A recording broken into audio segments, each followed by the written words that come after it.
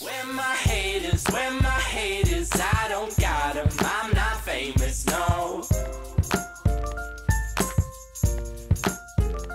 Yo, what is going on guys? This is Mike or Geekermon and welcome back to another Call of Duty World War II video. So we are down to our very last sniper rifle that we need to get gold for and that is the semi-auto Caribou, Carabiner, the Karabin. So if you're not sure how to get gold with this weapon, I would highly recommend playing hardcore. I hardly ever play hardcore, but what's good about the hardcore game mode is that your damage for your weapons is increased across the board or your health is totally lowered, one of the two. But what happens is it makes your gun a one-hit kill. So you can actually use it like the the bolt action snipers, hit one hits to the chest, not have to worry about making every single kill a headshot. That's my number one tip for the sniper. To get gold, you definitely want to be playing hardcore. It's actually a ton of fun because you suddenly have a super powerful semi-auto uh, sniper rifle, and there's not a lot of those in this game.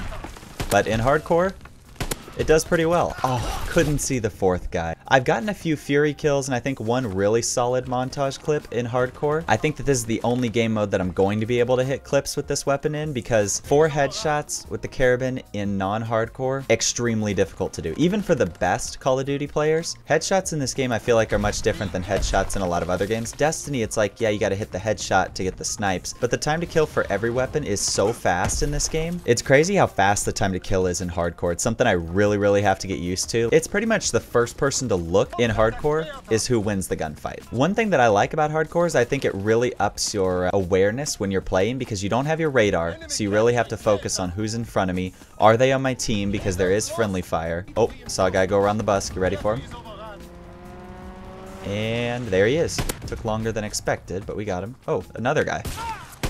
Gotcha. The other thing with the Karabin is it's probably the most forgiving, hardcore Karabin is the most forgiving sniper rifle I've ever used. You saw me turn, miss the first shot, but it's like, that's okay, we got a second shot in there, especially with rapid fire on. I do have to be careful though, because if I'm going for montage clips, I don't want the clip to be me going, because honestly, with this sniper rifle, especially with the ACOG sight, there is not much recoil at all, so you can just unload on your opponent. Alright, I guess we'll push for B. Look at us, objective players. I'm so glad I didn't snipe my teammate right there. It is funny in this game mode, they'll kick you for friendly fire. So I gotta be careful, like right there, I gotta be careful shooting the bad guy, not the good guy. There's one. Got another one. I kind of like this spot because they're pushing the other direction so they don't see me. Oh man, I missed that guy back in the door. Let's see, where to push, where to push. See? This spot, new meta this spot right here. All right, let's check out the camos. We have 26 more kills that we need with the Karabin and then two more five kill streaks. Okay, that should take us another one, maybe two games. Oh, snap. Haywire 2. Yeah, so one thing I did want to mention this video is I really want to thank you guys for the support on the Call of Duty videos. You guys, I know that I haven't been playing as much Destiny. I haven't played any Destiny 2. I haven't even installed the Curse of Osiris expansion. Honestly, it's kind of sad to me to see the state of the Destiny 2 community. A lot of people that I thought would never leave Destiny, like Luminosity, Sir Demetrius, Cruiser, Hush, all these guys that I thought for sure would be hardcore Destiny fans, even even when the game had a lull. They were dedicated Destiny fans. They've all kind of drifted to other games, and I think it's the lack of communication with Bungie. I think the limited playlists, the nerfs across the board, the lack of actually feeling like you're a legendary player, that that is a real thing in Destiny 2. I think uh, as a big fan and a longtime community member of the Destiny community, it is kind of sad for me to see the game in this state. I, I don't want this. I want Destiny 2 to be incredible. But if you've played it, you know that it's really, it's just missing that fun factor for a lot of players. And sadly, I think it's just pushed a lot of people away from the series right now. And that bums me out because, you know, Destiny, huge community. Even when things were rough in Destiny 1, I feel like the support and the community was always there, giving feedback, giving advice, trying to make the game better for everyone. And you know, there was disagreements and there was people who argued with each other, but honestly, everyone in the community, no one in Destiny 1 really thought about leaving the game. There were a few people here and there when they didn't make changes back in year 2. But honestly, everybody really stuck with the game, even through thick and thin. There's one.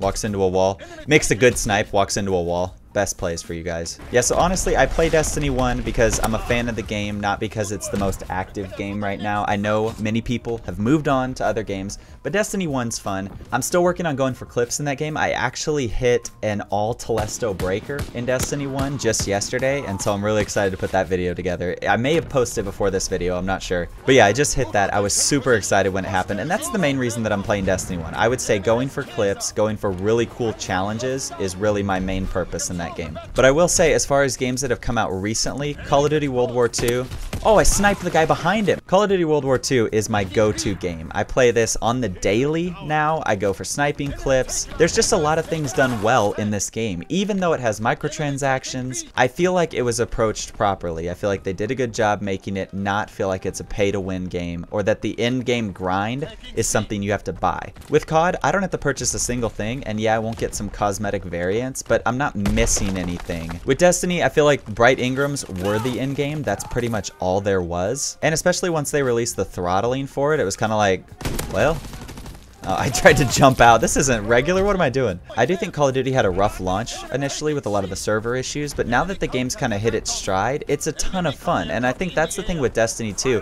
When it first started, it was like, oh, well, it's just launching. It's brand new. Give it some time. But as time went on, the community has dwindled more and more. People are leaving more and more, not coming back. With Call of Duty, there were some server issues, but everyone that played the old Call of Duties is playing World War II.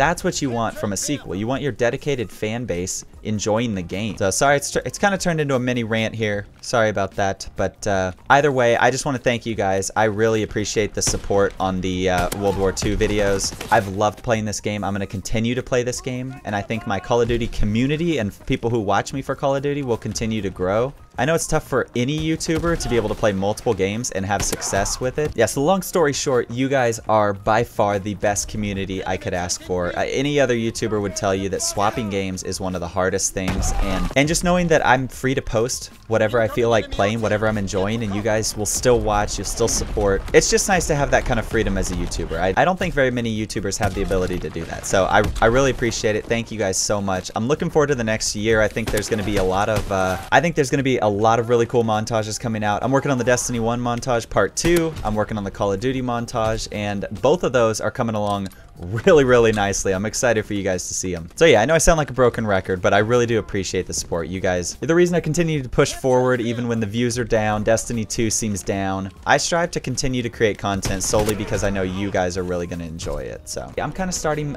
back at the ground level for the Call of Duty videos, but I think it's going to be worth it because I think that I could actually be a big content creator in the Call of Duty space. And not to sound super cocky or too confident or anything, but I think that I have the capacity to create quality Call of Duty videos. And I think if I can find the right audience for that, then it's going to be worth it. I know one thing is that I'm really enjoying making the videos for Call of Duty a lot more than something like Destiny 2. And for me, that itself, what? What? Hit marker in hardcore? And that in itself, I think is worth it. If you're passionate and you're happy about what you're creating, it's worth it. That's it for me. If you guys did enjoy the video, make sure and smash that like button. It means so much to me and it really helps this channel grow. And if you want to see more Call of Duty World War II content like this, make sure you subscribe to join the Geek Squad. Thank you guys for watching, and as always, I will see you in tomorrow's video. Peace.